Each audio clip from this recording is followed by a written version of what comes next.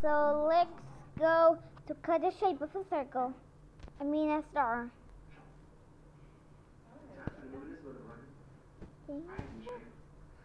Still, and that way, then that way, and that way, and that way, and that way, and that way.